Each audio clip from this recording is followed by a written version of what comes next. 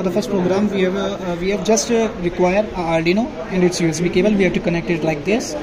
And uh, we just in a new tab default tab we have to write that code uh, setup and loop now we have to save it. Save it in a location like uh, uh, what? You save it. After save it we have to uh, check first uh, it uh, that port is showing. Connected? Yeah it's connected now at sketch we have to verify and compile it. Compiling is going on.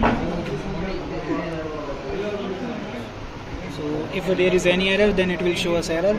If not then it will show then compiling. Then compiling is there.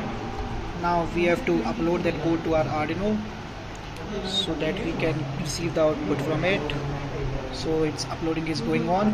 Done uploading. Now next we have to go to tools and serial monitor where we can get the output of hello hello and a delay of 1000 milliseconds. So it is, it is just our first program of IoT